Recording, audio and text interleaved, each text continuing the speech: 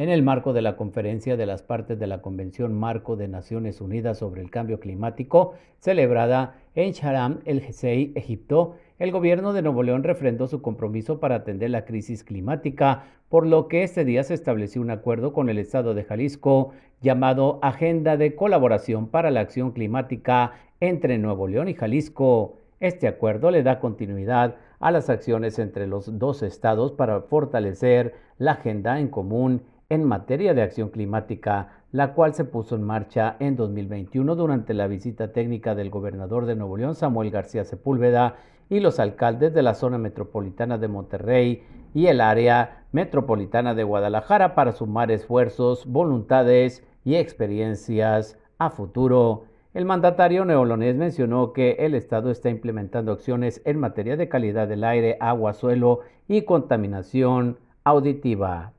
Thank you.